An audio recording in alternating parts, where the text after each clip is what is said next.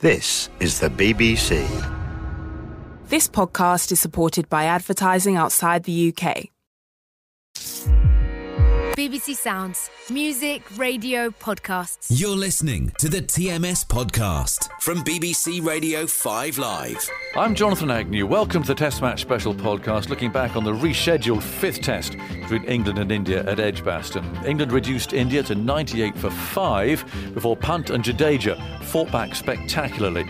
We'll hear from Rishabh Pant and the England assistant coach Paul Collingwood, and we'll get the analysis from Mark Ramprakash and the former Indian wicketkeeper Deep And we'll also hear from England's new white ball captain Jos Buttler and find out more about the Commonwealth Games cricket being staged here in Birmingham later this month. This is the TMS podcast from BBC Radio 5 Live. The close of play of the first day of the fifth test, to be accurate, between uh, England and India at Edgbaston sees India put into bat on 338 for 7 at the close. That's only part of the story.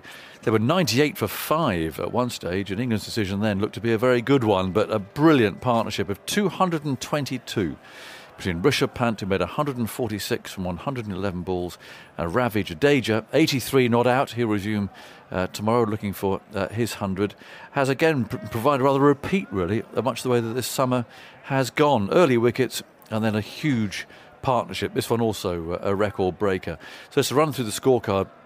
Um, Shubman Gill was the first one out for 17, caught by Crawley at uh, second slip. Cheteshwar Pujara was also caught by Crawley off Anderson for 13. That was 46 for 2, 64 for 3 when Vihari, who was dropped on 7 actually by Crawley off Potts, was LBW to Potts for 20.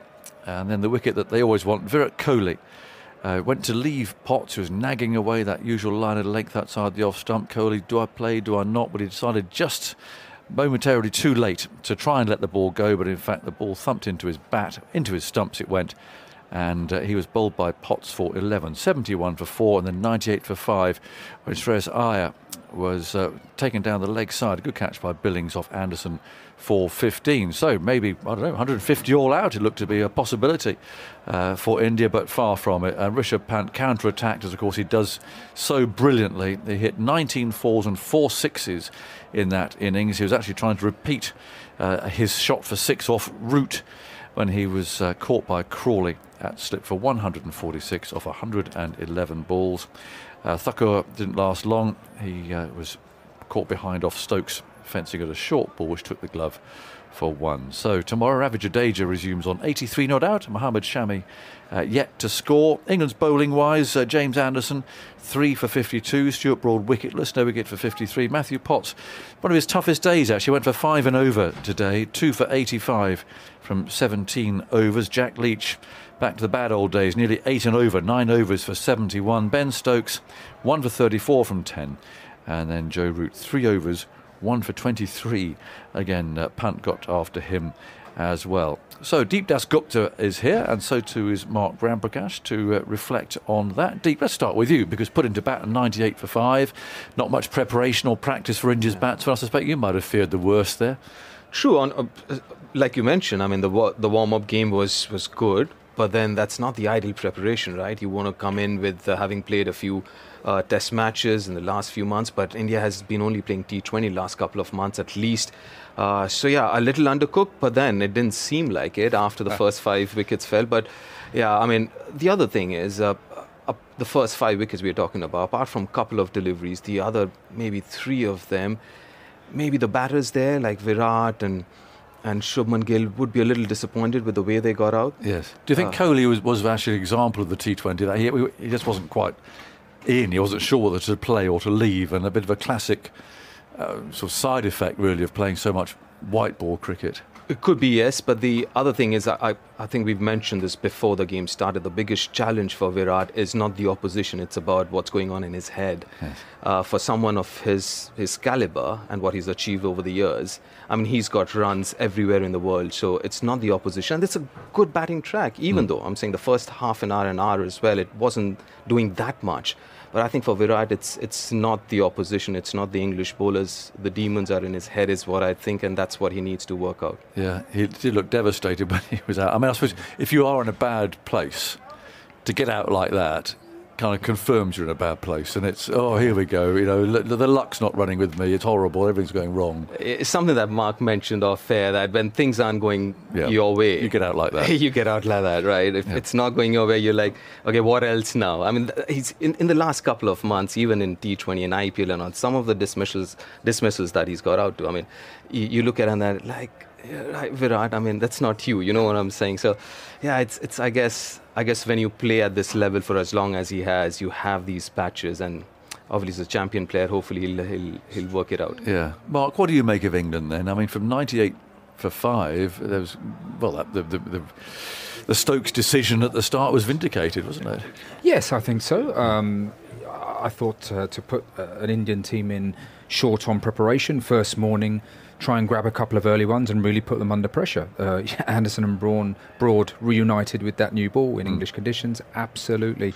I mean, the, the, there's plenty of grass on the pitch, although it, it's sort of brownish in, in colour. So it's not a tinged green wicket that we've seen them operate so well on in the past. But nevertheless, they are a handful. They will test your technique Yes. around the top of off stump, what to play, what to leave. And, and Virat got caught a little bit in two minds. Uh, Shubman Gill played away from his body. So, in my mind, that undoubtedly playing a lot of short format cricket um, and then trying to come into a test match against the calibre of bowling that England possess, that is a difficult task. Yeah. Again, what what to play and what not to play Mm. It's, it's, a, it's, a, it's a whole new ball game. It, it- actually, if you've been playing white ball cricket all the time, you just, just hit it in a white ball game. Exactly. Yeah. Yeah. the white ball really doesn't move, and you're not.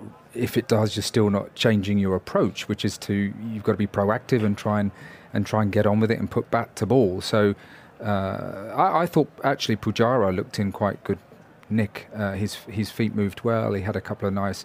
Uh, he had an off drive and a back foot sort of cut shot, uh, and I thought he moved around the crease well, and probably because he's played a bit more red ball cricket and less white ball cricket than some of the others. In this particular case, of course, once that ball gets older, Yes. um, and and uh, the, the the seam movement stops. There's not much swing. Your white ball players suddenly can really influence the game if they come in and play with freedom and aggression and the, the power that they possess and the range of shot. Suddenly they can take the game by the scruff of the Yeah. neck, and we saw that brilliantly from Pant. I mean, is it just coincidence that we've now we're into our fourth test this summer, and it's been almost like the same that you get early wickets, and then there's been not just a, you know, a, an annoying stand, but huge stands, you know, hundreds of runs at a time. This this was a record again. Is it the balls? Is it the way that England are planning to bowl at batsmen who are set? I mean, we saw again here going on to that short ball attack again because they seem to run out of ideas. I mean, it is it is, is it down to the ball? Do you think? Well, I think that definitely plays a part. I don't think England did anything particularly wrong, but the ball just stopped moving. Um, it, it gets softer. It, it doesn't really move off the seam, and uh, they continue to bowl decent lines and lengths. Um, you put that together with the brilliance of Pant, Yes. and we mustn't forget actually the orthodox stroke play uh, from Jadeja, who is a fantastic foil for someone like Pant. Jadeja brings a calmness uh, to the crease. He rotates the strike well, and they batted really well as a partnership. So um, it's those two things I think combined. Um, now we saw uh, Blundell and Mitchell do it for New Zealand as the ball got older, um, and if you can survive that early difficult period as a top order player, then you can capitalise on that later on as the ball gets older. Yes. Rishabh Pant. I mean, I mean, this is one to watch on on, on the highlights and, and so on. I mean, in a way, he is, it, to me at least, he looks an extraordinary player. And it, there's a lot going on. It's quite frenetic, will charge down the pitch and a lot.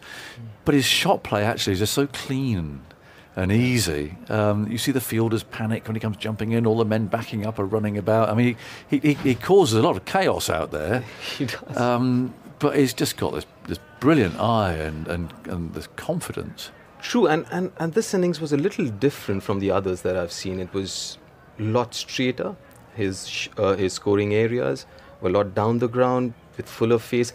Very rarely in this innings did you see him hack anything over mid wicket. Everything was with a straight vertical bat. Yes. Right. Uh, very rarely you saw him, you know, play those airy fairy shots apart from that reverse flick that he played.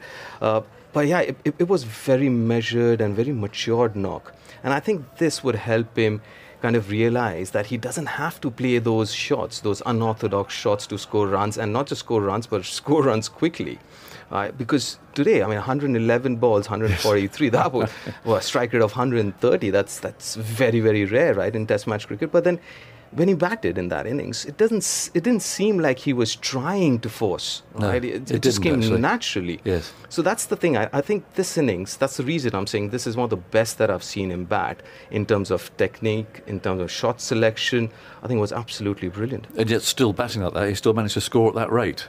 Absolutely. So, so that's the reason I, I hope this innings would, would give him that confidence that he can bat more orthodox way and still score runs and quickly as well. So I think from that perspective, this was a very, very important innings. Is- he still given an absolute backing and license just to go out? And, and I mean, sometimes, obviously, obviously he fails. But as we were talking actually at lunch, weren't we, Mark, about this whole question of, of uh, you know, bats sort of feeling that they are going to be supported if they do get out playing in a way. And, and, and Pant obviously really does feel that he has got the support of, albeit a new captain and a new coach now, as opposed to Shastri and um, and, and Kohli and so on when he, when he, when he, when he played before. But yeah, he's, he's still in that situation. He's just go out, get out there and just, just play. True, but the other thing is he's also taking that responsibility now that he's a vice captain, he's leading an IPL side as well. So I think that responsibility also has made him play with a little more caution, if I may say so. I mean, he, he still Or is- responsibility, perhaps. yeah, yeah, I mean, uh, because the shot selection again, I mean, it was spot on. It was absolutely brilliant this innings, and I think even though he has that confidence of the team management and captain, and he can still get away with a few airy fairy shots, but I think personally he puts on himself that responsibility to kind of make sure, and especially in conditions like these, or or right situation that the Indian team was 98 for five. He came out when he was what 68 for three or something when he came out to bat. So I, I think it's he's putting some pressure on himself to perform under those situations. Yeah, and it, it was wasn't easy innings. He got a, a horrible blow in the unmentionables early. uh, he then has, has done something with a hamstring, whether it's cramp or or whether it's something a little bit worse than that. And there we don't we don't know. He got a bad blow on the on the finger, which clearly really hurt him. I mean, this is a, it was a brave innings too. Yeah, uh, we saw lots of different aspects. Um, we saw some premeditation, Yes. uh, which I, you know, I mentioned about the white ball skills, um, where you know running down the wicket at Jimmy Anderson and hitting him back over his head, um, sort of calculated gamble, backing Anderson's sort of metronome accuracy that he he thought right. Well, I'll try and put him off his line and length. So there was some premeditation in there, um, but shots all round the wicket. I, I wonder whether Ben Stokes will reflect on. It's, I think it's one thing to have faith in, say, Jack Leach, and to give him the ball and to keep him on and to give him some cover at long on and deep mid wicket. Um, but most captains in modern day cricket would have probably gone with the off spinning option. Yes. Now, Joe Root is not um, necessarily a recognised frontline spinner, but he's actually a very canny bowler. Uh, has a decent record against India. He took five wickets somewhere. Five for Um, eight. Yes, um, and and uh, he's got a clever thinking brain when when he's got the ball in his hand. So with two left-handers at the crease, I was surprised that Joe Root didn't perhaps get the ball a touch earlier, and uh, that's that's just something that a, a little area that Ben Stokes may may reflect on. Yes, and and Stokes' captaincy generally, um, as I mentioned at the start, I mean there were five slips at one stage. Even when those two were well set, there were still three slips, which is pretty extravagant in under normal, you know, under circumstances in which the ball's doing a bit. I mean, three slips is still well, okay. That's really putting, you know, putting quite a lot into that department. But have five is a lot, but but still to have three when a partnership is going, that, that it does it does seem a lot. I, I, I think th- what probably best um, illustrates that is Matthew Potts' day, Yes. because he had two for 22 in his eighth over.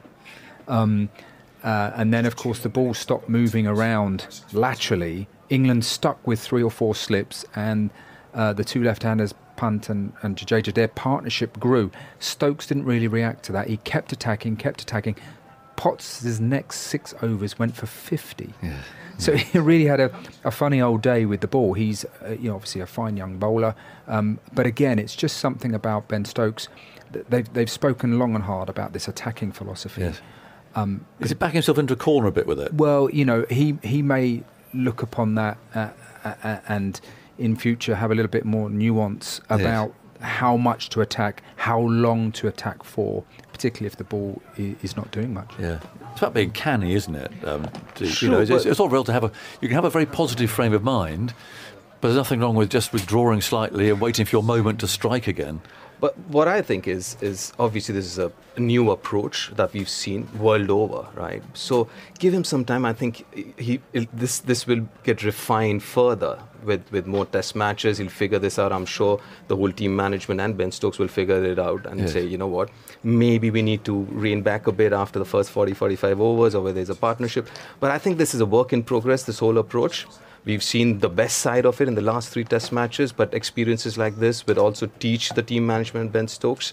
And I think this, this whole approach will only get refined with time and experience. Yeah, that's interesting. I do think, in a way, he almost needs to get his fingers burnt once just to think, Oh, okay, that, that can happen. Yeah, well, he's not done much captaincy. No. Um, what he's obviously doing a lot very, very well. Yes. Uh, and so, uh, you know, he's human. I mean, all captains sometimes get things wrong. I mean, it's it's just part of the job. And I, ju- I think what's important is that there is a reflection uh, of of the day, uh, and, and and that someone he can talk to and bounce ideas off, um, which I'm assuming would be Baz McCullum, um, and that they can th- talk about you know what worked. Uh, and if anything, they might do differently, and, and just learn from that. Well, tomorrow will be interesting, won't it? I mean, this is this, this attack is, is deeper than New Zealand's. New Ze- I'm talking about India's attack, bowling attack. Uh, or, I mean, it's a silly question, but presumably England is going to get out there and they're going to try and savage it, just as they did New Zealand.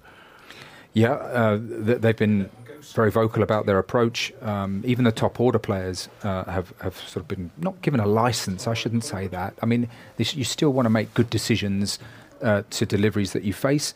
Um, but we expect certainly the middle order to come out and continue where they left off at uh, Headingley. Yeah. Jadeja 100 tomorrow? Yeah, hopefully so. hopefully so. But a good part about India is uh, uh, they got another seven overs to go tomorrow Yes. morning with this old ball. So that should help, with, which would be another 35, 40 minutes. That should help them to kind of settle down a bit uh, and then face the second new ball, I guess. Right, thanks to you two. That's uh, Deep Dasgupta and Mark Ramprakash. We can get some reaction from the England camp now. The assistant coach, Paul Collingwood, has been speaking to Simon Mann.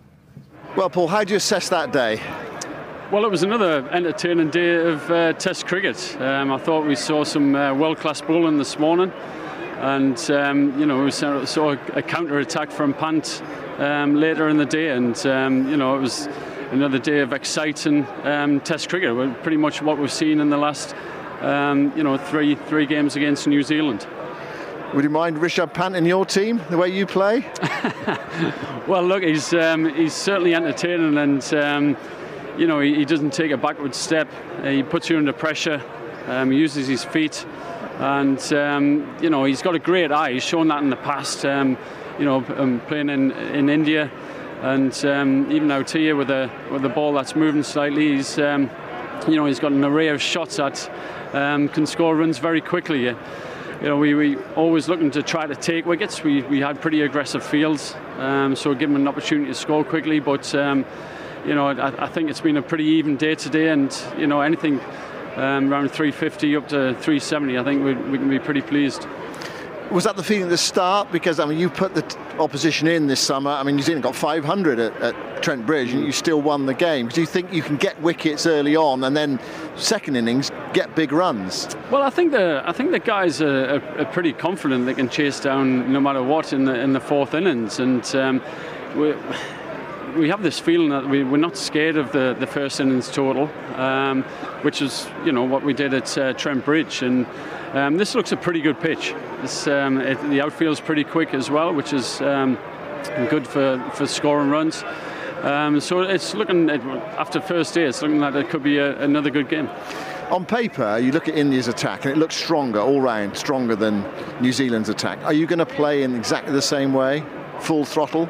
Yeah, I, I don't think there's any um, any doubt about that. Um, you know that this is the style of cricket that we want to play. We, we feel as though a, a, a bigger picture in Test cricket that um, for it to survive, it needs to be entertaining, and um, and, and certainly uh, the way we played in the last three games, um, I thought we've grown in all three game, uh, in all three games, and um, you know you put opposition under pressure. At times you're going to have to soak up pressure. We realise that. Um, we may have could have uh, may have should have done that a little bit more today when uh, Pant was going and try to get him off strike. But uh, I'd rather be on the more um, the more aggressive side of the line than conservative side of the line, and and that's certainly how um, you know um, Brendon McCullum wants us to play. Matthew Potts has had an excellent summer. He got Kane Williamson out three times today. He got Virat Kohli out. Presumably, someone you know well from your Durham background. How, how do you assess his impact? Well, he's got something about him. It's simple as that. He's not scared of the competition. Um, he likes the pressure situations, and he's got good skills. He seems to um, rush onto um, the batsman a little bit quicker than what his speeds suggest. And um, you know he keeps running in, whether it's second, third, or fourth spell. And uh, he's a strong lad. He's very young in years, but he, he seems to have a you know an older head and the shoulders. So it's um, he's had a good start to his career, and um, and hopefully he can get a few runs as well because he's actually he's, he's not the worst batsman in the world. When did you first come across him? Um, well, he actually made his debut down in uh, Kent. I was captain at the time, and even even uh, you know in the first game, I remember just saying, what, what, what do you like? A couple of slips and an extra cover. And he was like, no, I'll have uh, three or four slips. And you tell he was aggressive, very confident. And, um, you know, th- those were good early signs. But um, great to see what he's done over the, this past year. One thing that's been a feature of this summer's cricket is early wickets and then big mm. partnerships. What, what's the reason for that? I mean, is it to do with the balls? Yeah, well, possibly. Um, I think we, we can all tell once the ball gets 30, 40 overs old, it gets quite soft. Um, becomes a lot easier to, to bat on these wickets um, when the ball's like that. Um, so the rhythm of the games have been pretty much the same so far um, against New Zealand. Obviously, Pant scored a lot quicker than um, the New Zealand batsman, but um, you know it, it, the kind of the the way the fifth wicket partnership went today, it was um, pretty much the same. But as I said, I think it's been a pretty equal day. Um, we can be pretty happy with it if we bowl them out for under 360, 370. I think we can be pretty pleased with that. Great. Paul, thanks very much for your time. Cheers. Thanks. That's Paul Collingwood speaking to Simon Mann, who's also been speaking to India's century maker, Rishabh Pant. Well, Rishabh, have you ever played better than that? See, I was just trying to give my 100%. I haven't thought about it. That's up to you guys to decide that this is one of my best inning, I guess. How much did you enjoy it? Absolutely, I enjoyed it, especially playing in England. It's one of the places where you can actually feel that Test cricket is like it's a big thing in England. So good to be scoring runs in England actually. What was your feeling when you came out to bat? Because you were under a bit of pressure as a team. Obviously, we lost some wicket, but at the same time, I was not thinking about that too much. Focus on my game at the same time, playing one ball at a time, just looking for a partnership with my partner. That's the only thing I was looking, and actually, it went well for us. When did you feel it was going to be your day? At what point? See, when I'm batting, I'm just clear with my head. I'm not thinking too much ahead. I'm just playing one ball at a time. If I feel like after when I scored actually 50, I was feeling like that I'm gonna make it bigger. So that's the only thing which I felt, and I just kept on batting well. And you had Ravi Jadeja at the other end, and he supported you really well. I think especially when you bat for this long, you need someone, some partner to bat with, and he's absolutely. We are batting together for a long period of time, all the time, especially in nets, in matches. So we have been having good partnership through and through in. So he's a good partner to have. You had a few knocks, injuries during the day. I mean, there was a hamstring problem, hand problem. How, how are you feeling? I'm feeling absolutely fine. I was having some cramp issue, then got hit on my hand but at the same time not thinking about it too much just focusing on one ball at a time what about the state of the game 338 for 7 after the first day where, where do you see the balance of power i think uh, right now the game is pretty balanced yes they bowled well in the early half but we actually brought us back me and Jaddu that was a good partnership and brought, brought us back in the into the game but let's see as long as we get 400 or 450, it's going to be a good total here. Because you've been out there a long time, what do you make of this Edgbaston pitch? I think the wicket is looking pretty nice. So if you apply yourself, there is good chance that you're going to score big. What's it like to entertain a, a full house here at Edgbaston? It's always a great feeling, especially playing in England. It's especially the atmosphere of Test cricket is amazing. So really enjoyed playing here. Great. Well, you entertained us today. Fantastic innings. Thanks very much yeah, indeed. Thank you, sir. The TMS Podcast from BBC Radio 5 Live. Now, Jos Buttler was confirmed yesterday as the new England white ball captain, taking over from Eoin Morgan, who stepped down earlier in the week. Jos came in to see us earlier, and I asked him if he saw Morgan's international retirement coming. Uh, I wasn't sure, to be honest. I think um, you know he's been very clear that when he, he felt the time was right, that he would he would move on. Um, I think initially quite sad. That's how I felt. Um, he's obviously led the team for a, a, really long time and been a fantastic leader for, for everyone. He's a very close friend as well. So sad that he's felt that it's time. But obviously for me personally, it's a, a really exciting time yeah. to take the captaincy. And rather typical of him to say that he kind of felt his time had come and that suggesting maybe that there were other players to, to, to come in now and take his place. Yeah, he's always been an incredibly selfless leader and uh, selfless player. Um, so, uh, and I think, like I said before, he's been very clear on when he felt like the time was right, then then he would step away. So, um, yeah, there's plenty of strength and depth in, in the white ball game. That's really much the legacy that he's left, isn't it? There's a, a huge abundance of talent um, coming through, and excited to see those guys get opportunities. Yeah. Just going back, I was talking with Erbin then actually about 2015 and, and the lessons learnt on that World Cup. Um, taught us by New Zealand, um, uh, not least in, in Wellington. Um, and, and, actually, credit to be given to persisting with, with Morgan, because actually there might, there might have been a temptation to thought, right, we've got to start completely from scratch. Um, but that faith that was showed in him produced this brilliant, this brilliant captain, especially under pressure. It always seemed to be. He seemed very ice cool.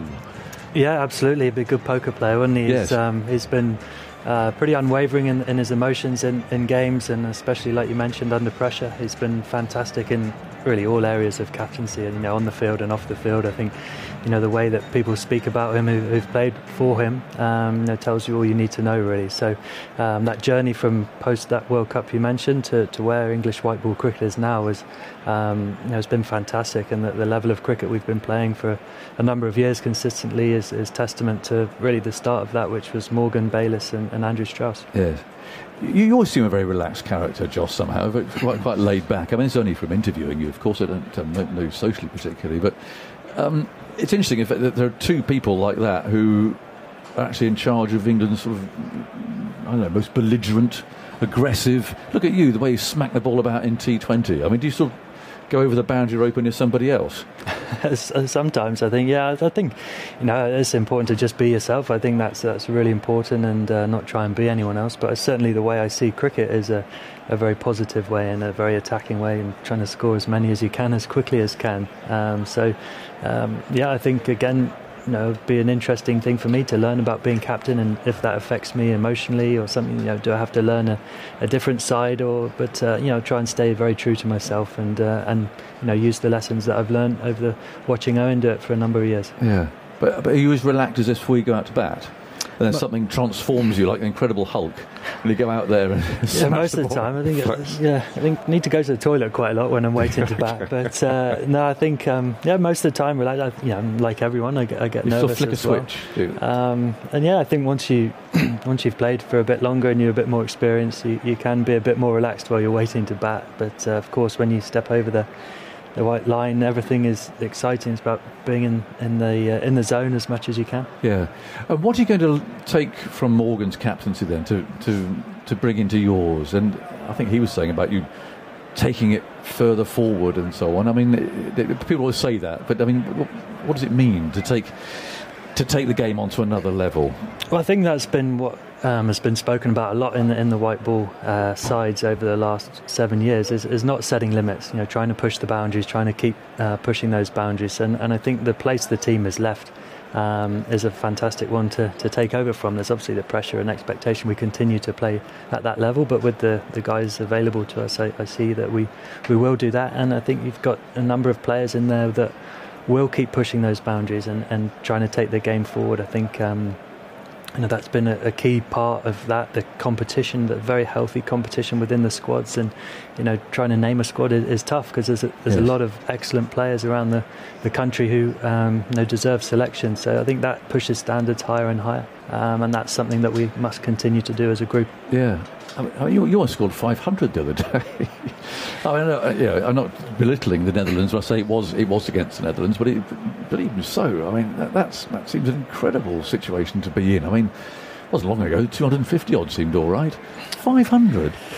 Yeah, absolutely. And, and I think you know over the last few years, there's been a couple of times where we, we've scored over 400. I think 480 against Australia Yeah. and some 440 against Pakistan. So the the capability is there to do. I think it's very similar to what you're seeing uh, Ben bring to the Test team at the minute. It's sort of taking any um, shackles off and, and letting guys express themselves. And certainly that's been the, the case in, in white ball cricket. And I think what's been you talked about what you'd learn from Eoin. You know the, the times where it sort of hasn't gone wrong has been questioned from the outside. Um, he's been very, um, you know, solid on no, this is how we're going to play, and we're, we're going to continue to, to play in that fashion.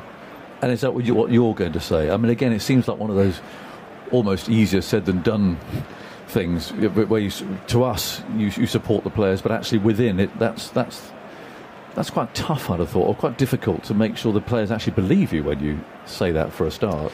Yeah, and I think that's why it's important in the way you play yourself. Um, and I think um, you know you must, if you're asking people to be aggressive and take risks and, and not to set limitations, I think it's very important the way you go out and play yourself. You know, I think uh, someone like Eoin, you know, be running down the wicket trying to hit his third or fourth ball for six. That gives you a license as a, a follower to, to follow that lead, and um, I think that is you know the way I like to play my cricket is to be positive and aggressive. Um, and I think as long as I continue to play in that fashion, then I hopefully will inspire the rest of the group to play in the same vein. Yeah. And talk about pushing on to another level. I mean, how, how do you keep pushing your game on to a, another level? And, and is there somewhere where you think you can take your batting, particularly in, T- in T20 cricket? Yeah, absolutely. I think um, you're always trying to get better. I think the, the day you, you stop is probably when that time comes that you, you think it's you're nearly at the end. So um, no, I've obviously had a really enjoyable IPL season. I, I Yes. surprised myself um, at that tournament. Um, but you know, once you have a season like that, it, it then you know feeds that uh, fuel for you know what's what's next after that. How much better can I get? Where can I take my game to? Um, you know, especially in T20 cricket now, being an opener um, and having the spent a lot of my career as a middle order player as well. I see that um, the opportunity of sort of marrying both up if I if I bat long enough, which is uh, something I've, I've tried to do a lot more. Yeah. How, how do you practice for T20? When- Are you, do you literally stand in net and just smash everything?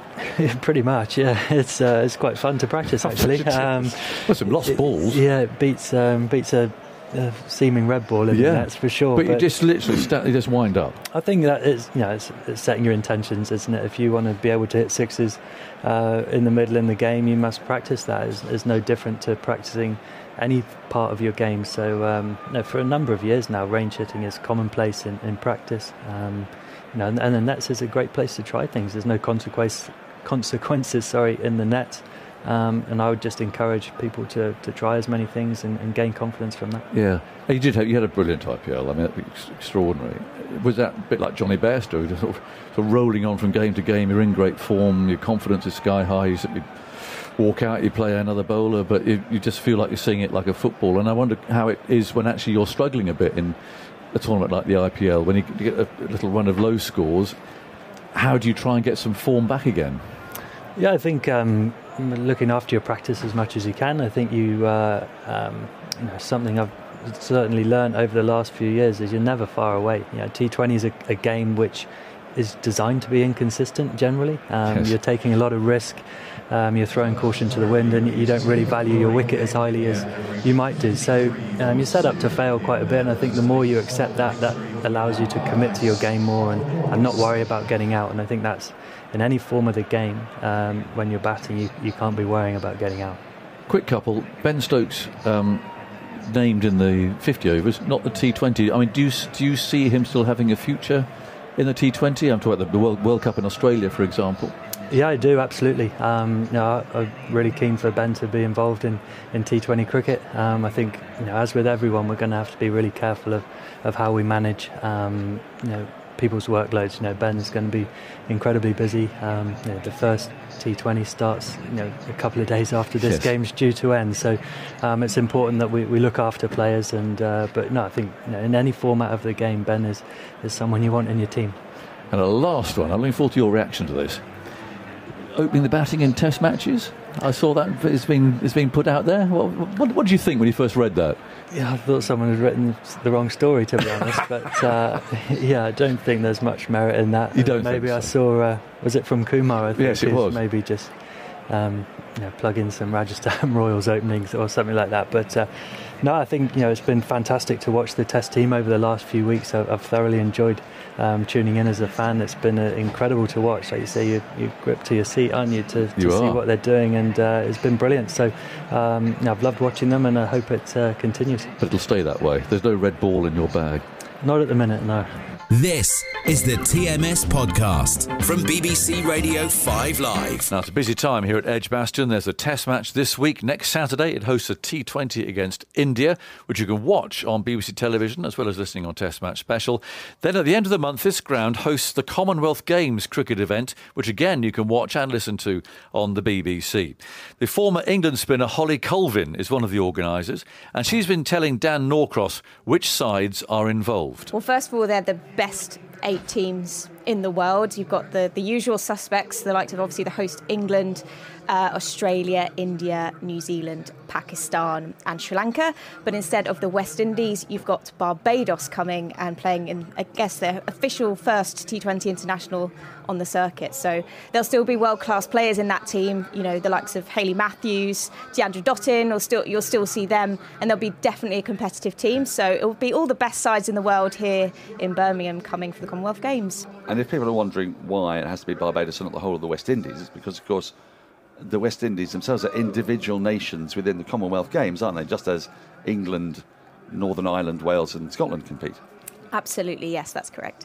So uh, it's a quick tournament. What's the format? How's it working? It's pretty simple. Um, there's two groups of four, um, and then the top two teams from each group go through to the semi finals. The winner of the semis play in the gold medal match, and the losers of the semi finals go into the bronze medal match. It's as simple as that. That is very simple, but you've got to get through these games in how long is it? About nine days or something? Yeah, it's a very um, short competition schedule in 11 days. So we've got 16 games across the 11 days. So it's going to be quite condensed and compact, um, but nothing the girls aren't used to. So um, it'll be fantastic um, to see it all come to fruition finally. Uh, the players themselves, are they are they going to be part of the, the athletes' village, or are they going to be in a sort of set, separate place, or are they going to muck in as exactly the same way as other Commonwealth athletes? Yeah, they they will have access to the villages. They'll be staying in a, in a village themselves and be able to obviously um, mingle with multiple different athletes across di- different disciplines. Um, so it's fantastic to be able to have that opportunity as well and be part of something bigger than just a single sort of cricket event in itself. You'd have loved to have done that, wouldn't you? I mean, because that's, that's something that cricketers actually. I, I noticed this when I went to Sports Personality of the Year a few years back that the cricketers seldom get to spend time with other sports stars because of the nature of the game. You know, you're off um, touring or whatnot.